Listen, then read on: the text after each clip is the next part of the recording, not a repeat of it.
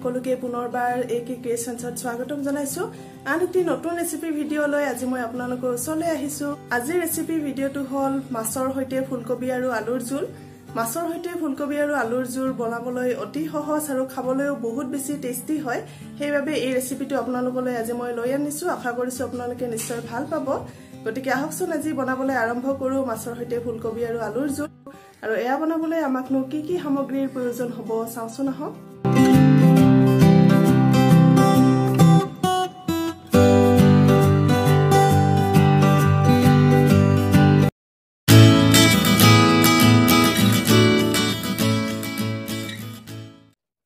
মাছৰ সৈতে ফুলকবি আৰু আলুৰ জোল বনাবলৈ আমাক লাগিব তিনিটা মেইন ইনগ্ৰিডিয়েণ্টছ সেয়া হৈছে ফুলকবি আলু আৰু মাছ।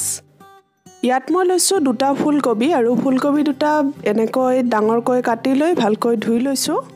এইখন তৰকাৰী বনাবলৈ আপুনি ফুলকবিৰ টুকুৰাকেইটা ডাঙৰকৈ ল'ব ডাঙৰকৈ ল'লে ভাল হয়।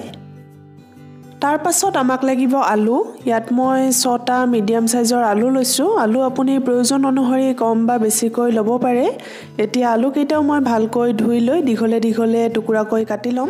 আৰু আমাক লাগিব মাছ। ইয়াত মই ভজা মাছ লৈছোঁ। মাছকেইটা আগতীয়াকৈ নিমখ হালধি সানি ভাজি লৈছোঁ। আপুনি যিকোনো মন পচন্দৰ মাছ ল'ব পাৰে। মই লৈছোঁ ভকুৱা মাছ ছয় পিচ। ফুলকবি আৰু আলুৰ তৰকাৰীখন বনাবলৈ প্ৰথমতে মই আলু আৰু ফুলকবিখিনি সিজাই ল'ম। কিন্তু আলু আৰু ফুলকবিখিনি বেলেগে বেলেগে সিজাই ল'ম। নহ'লে ফুলকবিখিনি বেছিকৈ সিজি যাব পাৰে। গতিকে প্ৰথমতে মই কেৰাহী এটাত পানী গৰম হ'বলৈ দিছিলোঁ। এতিয়া পানীখিনি উতল আহি যোৱাৰ পিছত মই ইয়াত টুকুৰাকৈ কাটি লোৱা আলুখিনি সিজাই ল'ম।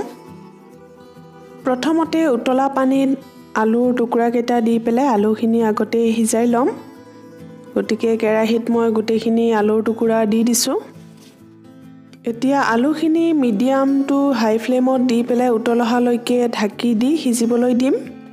আৰু আলুখিনি সিজাওঁতে ইয়াত এচামুচৰ জোখত নিমখ দিম তেতিয়া সোনকালে সিজি যায়। আৰু আলুখিনি বহুত বেছি নিসিজাওঁ মিডিয়াম সিজাই ল'লে ভাল হয়। কাৰণ তৰকাৰীখন বনাওঁতে আমি পিছত আৰু অলপ পানী দি উতলাব লাগিব।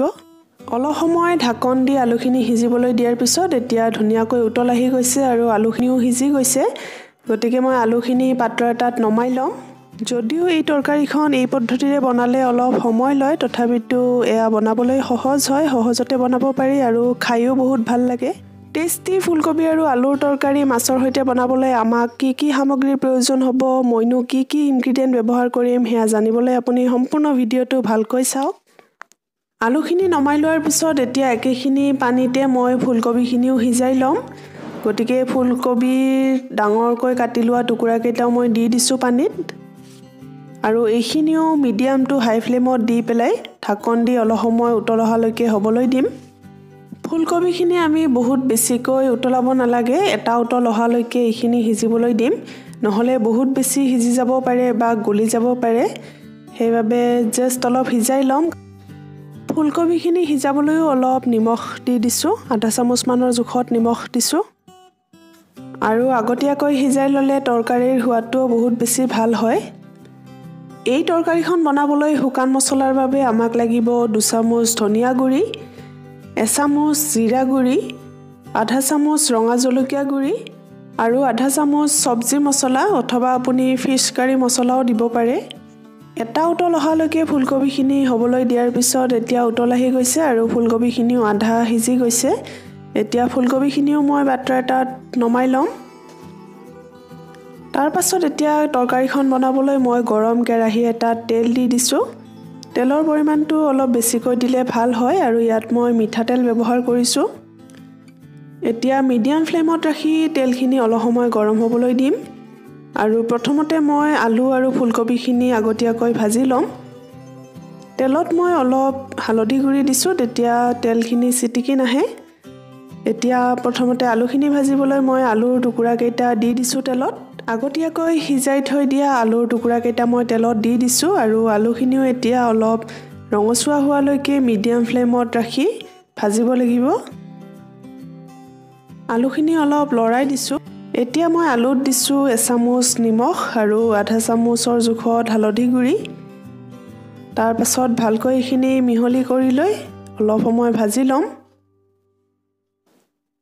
আলুখিনি অলপ লৰাই দিয়াৰ পিছত এতিয়া ঢাকনি এখনেৰে ঢাকি দিম। তেতিয়া সোনকালে ভজাও হৈ যায় আৰু সিজিও যায় অলপ।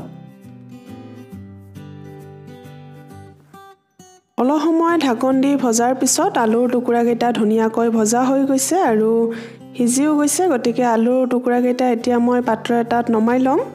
তাৰপিছত এই একেখিনি তেলতে মই সিজাই থোৱা ফুলকবিখিনিও ভাজি ল'ম। গোটেইখিনি সিজাই থোৱা ফুলকবিৰ টুকুৰা মই তেলত দি দিছোঁ আৰু আগতীয়াকৈ যিহেতুকে হালধি গুড়ি দিয়া আছে সেইবাবে হালধি গুড়ি দিয়া নাই। এতিয়া মই ইয়াত দিম দুচামুচ নিমখ আৰু ফুলকবিখিনিও মিডিয়াম ফ্লেমত ৰাখি অলপ ৰঙচুৱা হোৱালৈকে ভাজি ল'ম।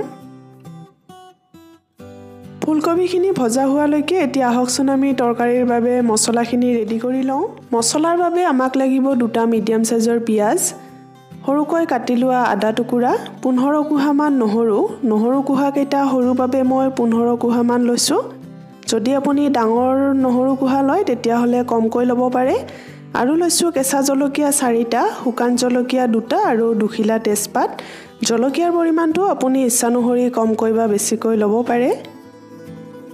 এতিয়া শুকান জলকীয়া আৰু তেজপাতৰ বাহিৰে বাকীখিনি মছলা গ্ৰাইণ্ডাৰ জাৰত দি পেলাই গ্ৰাইণ্ড কৰি ল'ম। এইখিনিৰে মছলা পেষ্ট বনাই ল'ম। গতিকে পিঁয়াজ আদা নহৰু আৰু কেঁচা জলকীয়াখিনি মই গ্ৰাইণ্ডাৰ জাৰত দি দিছোঁ। ভালকৈ গ্ৰাইণ্ড কৰি লোৱাৰ পিছত এতিয়া আমাৰ মছলা পেষ্টখিনি ৰেডি হৈ গৈছে। গতিকে এইখিনি পিছলৈ ব্যৱহাৰ কৰিবলৈ থৈ দিম। ফুলকবিখিনি মাজে মাজে আমি এনেকৈ লৰাই থাকিম। যেতিয়ালৈকে ৰঙচুৱা নহয় তেতিয়ালৈকে ভাজিব লাগিব। আগতীয়াকৈ ফুলকবি আৰু আলুখিনি সিজাই লৈ ভাজি ল'লে খাবলৈ বহুত বেছি টেষ্টি হয় তৰকাৰীখন। ৰঙচুৱা হোৱালৈকে ভজাৰ পিছত এতিয়া ফুলকবিখিনিও মই পাত্ৰ এটাত নমাই লৈছোঁ। আলু আৰু ফুলকবিখিনি ভজাৰ পিছত কেৰাহীত তেল ৰৈ গৈছে অকণমান গতিকে একেখিনি তেলতে মই এতিয়া মছলা পেষ্টখিনিও ভাজি ল'ম। মই আগতীয়াকৈ তেলৰ পৰিমাণটো অলপ বেছিকৈ দিছিলোঁ সেইবাবে তেল ৰৈ গৈছে। যদি আপুনি তেলৰ পৰিমাণটো কমকৈ দিয়ে তেতিয়াহ'লে মছলা পেষ্টখিনি ভজাৰ আগতে আপুনি আৰু অকণমান তেল দি দিব পাৰে। এতিয়া গোটেইখিনি মছলা পেষ্ট মই তেলত দি দিছোঁ। এইখিনিও অলপ সময় অলপ ৰঙচুৱা হোৱালৈকে ভাজি ল'ম। আৰু জুইটো মিডিয়ামত ৰাখিলে ভাল হয়। মছলা পেষ্টখিনিৰ লগতে এতিয়া আমি দিব লাগিব আধা চামুচ পাঁচফোৰণ দুটা শুকান জলকীয়া আৰু দুখিলা তেজপাত একেলগতে দি পেলাই গোটেইখিনি ভাজি ল'ম। এটা কথা মন কৰিব মছলাখিনি ভালকৈ ভাজি ল'ব। যদি মছলাখিনি কেঁচা হৈ থাকে ভালকৈ ভজা নহয় তেতিয়াহ'লে তৰকাৰীৰ সোৱাদটো ভাল নহ'ব। সেইবাবে আমি মছলাখিনি ভালকৈ ভাজি ল'ব লাগে। মছলাখিনি অলপ ভজাৰ পিছত ইয়াত মই এতিয়া দিম সৰুকৈ কাটি লোৱা এটা বিলাহী। ইয়াত মই এটা বিলাহী দিছোঁ আপুনি যদি বিচাৰে বেছিকৈও দিব পাৰে অথবা আপুনি বিলাহীৰ পেষ্ট বনাই দিব পাৰে। বিলাহীৰ পেষ্ট বনাই দিলে বেছি ভাল হয়। এতিয়া এইখিনি আমি একেৰাহে অলপ সময় ভাজিব লাগিব। তাৰপাছত ইয়াত আমি দিব লাগিব আধা চামুচ হালধি গুড়ি আৰু আমি আগতীয়াকৈ ৰেডি কৰি থোৱা গুড়ি মছলাখিনি। এতিয়া গুড়ি মছলাখিনিও একেলগতে ভাজি ল'ম অলপ সময় অলপ ৰঙচুৱা হোৱালৈকে আমি এইখিনি ভাজিব লাগিব আৰু জুইটো ল' টু মিডিয়াম ফ্লেমত ৰাখিলে ভাল হয়। নহ'লে সোনকালে পুৰি যাব পাৰে যদি আপুনি জুইটো বঢ়াই দিয়ে। অলপ সময় একেৰাহে এনেকৈ ভজাৰ পিছত এতিয়া আমাৰ মছলাখিনি ভজা হৈ গৈছে। তাৰপাছত ইয়াত আমি দিব লাগিব আগতীয়াকৈ আমি ভাজি থৈ দিয়া আলু আৰু ফুলকবিখিনি। গোটেইখিনি আলু আৰু ফুলকবি মই তেলত দি দিছোঁ। একেলগে এতিয়া গোটেইখিনি মিহলি কৰি ল'ম। মছলাখিনিৰ সৈতে যাতে আলু আৰু ফুলকবিখিনি ভালকৈ মিহলি হৈ যায় সেইবাবে ভালকৈ মই মিহলি কৰি দিছোঁ। এনেকৈ একেৰাহে লৰাই থাকি অলপ সময় ভাজি ল'ম। মছলাৰ লগত যাতে ভালকৈ মিক্স হৈ যায় গোটেইখিনি। এই তৰকাৰীখন বনোৱা সম্পূৰ্ণ পদ্ধতিটো আপোনাক মই ভালকৈ দেখুৱাব বিচাৰিছোঁ যাতে আপুনিও ধুনীয়াকৈ এনেকুৱা সুস্বাদু তৰকাৰী বনাব পাৰে। সেইবাবে ভিডিঅ'টো সম্পূৰ্ণকৈ চাই আপুনি ফ'ল' কৰি বনাব পাৰে। ভালকৈ অলপ সময় গোটেইখিনি ভজাৰ পিছত এইখিনি ধুনীয়াকৈ মিহলি হৈ গৈছে। এতিয়া ইয়াত আমি দিব লাগিব পানী। যিহেতুকে আমি আগতীয়াকৈ সিজাই লৈছোঁ গতিকে বেছি পানীৰ প্ৰয়োজন নহয়। ইয়াত মই দুগিলাচৰ জোখত পানী দিছোঁ। যিহেতুকে এয়া মাছৰ সৈতে আলু আৰু ফুলকবিৰ জোল বনাবলৈ লৈছোঁ গতিকে পানীৰ পৰিমাণটো অলপ বেছিকৈ দিম। যদি আপুনি বেছি জোল কৰিব নিবিচাৰে তেতিয়াহ'লে পানীৰ পৰিমাণটো কমকৈ দিব পাৰে। পানী দিয়াৰ পাছত এতিয়া মই আকৌ এবাৰ গোটেইখিনি লৰাই দিছোঁ যাতে ভালকৈ মিহলি হৈ যায়। তাৰপাছত ঢাকনি এখনেৰে ঢাকি দি পেলাই এইখিনি হাই ফ্লেমত উতল আহিবলৈ দিম। যিহেতুকে আমি আলু আৰু ফুলকবিখিনি আগতীয়াকৈ সিজাই লৈছিলোঁ সেইবাবে বেছিকৈ এইখিনি আমি উতল আহিবলৈ দিব নালাগে বেছিকৈ সিজাব নালাগে। এই পদ্ধতিৰে আপুনিও ফুলকবি আৰু আলুৰ তৰকাৰী বনাইছেনে? যদি বনোৱা নাই তেতিয়াহ'লে ভিডিঅ'ত দেখুওৱাৰ দৰে এই ৰেচিপিটো ফ'ল' কৰি পেলাই বনাব পাৰে। এই পদ্ধতিৰে মাছৰ সৈতে আলু আৰু ফুলকবিৰ জোল বনাই খাই বহুত ভাল লাগে খাবলৈ বহুত বেছি টেষ্টি হয়। আপুনি যদি বনোৱা নাই তেতিয়াহ'লে নিশ্চয় এবাৰ বনাই ট্ৰাই কৰিব। অলপ সময় ঢাকন দি থোৱাৰ পিছত তৰকাৰীখন ধুনীয়াকৈ উতল আহি গৈছে। এতিয়া এটা উতল অহাৰ পিছত ইয়াত আমি দিব লাগিব মাছৰ টুকুৰাকেইটা ভাজি থোৱা মাছৰ টুকুৰাকেইটা মই তৰকাৰীত দি দিছোঁ এটা এটাকৈ গোটেইকেইটা মাছৰ টুকুৰা তৰকাৰীত দি দিয়াৰ পিছত এতিয়া আকৌ এবাৰ মই লৰাই দিছোঁ। তাৰপাছত এইখিনি ঢাকন দি আৰু এটা উতল অহালৈকে হ'বলৈ দিম আৰু জুইটো হাই ফ্লেমতে ৰাখিম। বঢ়াই দিলে ভাল হয় তেতিয়া সোনকালে উতল আহি যায়।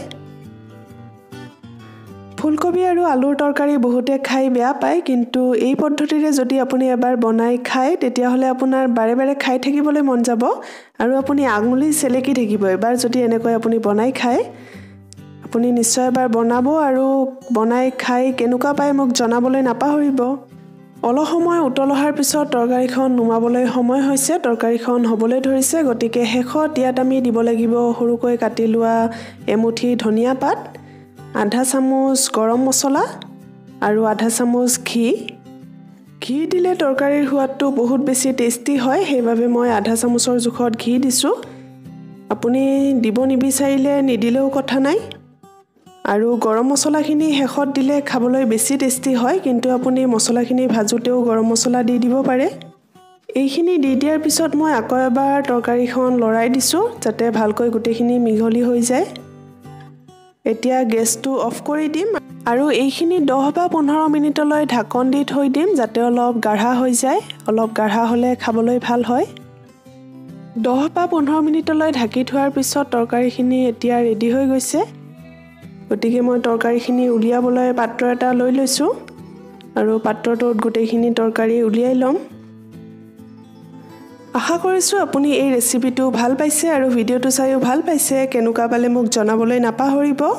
ভিডিঅ'টো ভাল পালে সকলোলৈকে শ্বেয়াৰ কৰিব আৰু এতিয়ালৈকে যদি আপুনি এ কে ক্ৰিয়েশ্যন ছাবস্ক্ৰাইব কৰা নাই তেতিয়াহ'লে নতুন নতুন ৰেচিপিৰ বাবে এ কে ক্ৰিয়েশ্যন ছাবস্ক্ৰাইব কৰিবলৈ নাপাহৰিব।